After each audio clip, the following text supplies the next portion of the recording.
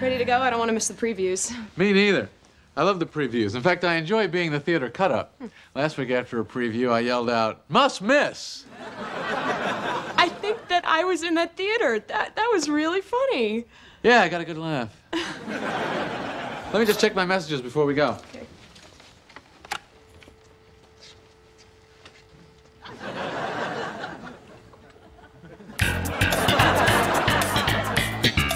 So you're on the speed dial. After two dates?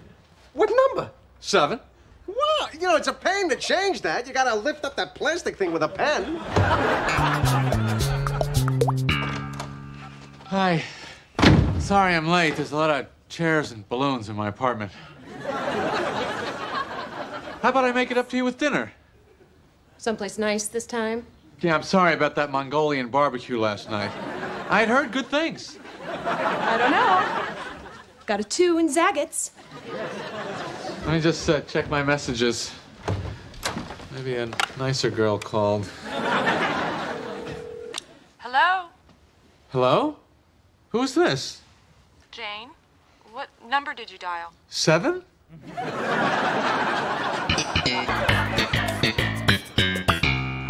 Flowers. You didn't have to do that. I mean, the dinner and the play and the hansom cab ride. Well, I just wanted to. You forgot the gift certificate to Barnes and Noble. Oh. You know, make a good impression. I'm gonna go put these in some water. I like the way you think.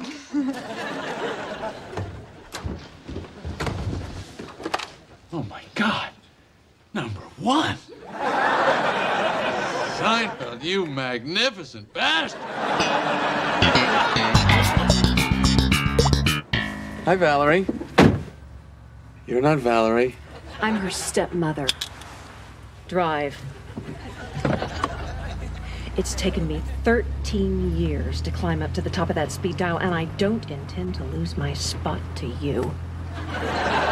But I, I never. You just stay away from that phone. You know, uh, Valerie, I uh, couldn't help but notice that I'm on your speed dial. You deserve it. But I, I can't help thinking that maybe there's someone in your life who deserves it more. Someone you've known, you know, more than a week. Your stepmother got to you, didn't she? What? No. Ugh, I can't believe she did this again. That's it. She's off the speed dial completely.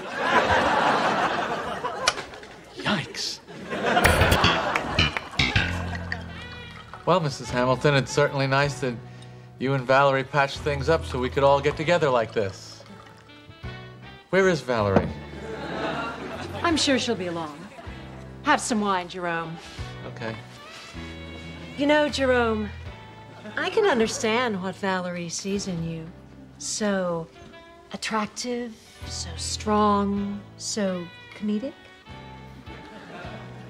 Good. Jerome, have a deliciously naughty idea. What? Why don't I put you on my speed dial? I don't know, Mrs. Hamilton. That doesn't sound... Don't be such a child, Jerome.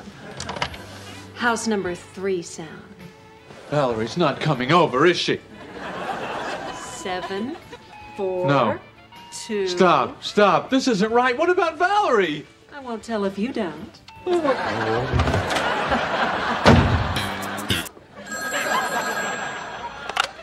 Hello? Jerry, I was just at my stepmom's house and I saw that you were on her speed dial. Uh, well, she uh, probably just wanted to be able to keep tabs on you. Hold on a second. Hello? Hi, Jerome. Oh, Mrs. Hamilton, this is a very bad time. I've got Valerie on the other line. Just a second. Hello? That's her on the other line, isn't it? Well, Tell her I don't want you on her speed dial. hang on. She knows about the speed dial. Mrs. Hamilton, you gotta get me off this thing. I won't until she puts me back on hers. Hang on. She wants to be back on yours. Fine, but only if you're off hers. Hang on. Fine, if I'm off yours. No, still me. Sorry, hang on. Fine, if I'm off yours. I won't do it. It's my speed dial, and I don't trust her. Please, Mrs. Hamilton, this is very awkward for me. All right. I'll hide you in one of the emergency buttons. Great, bye. She said she'll do it. Great.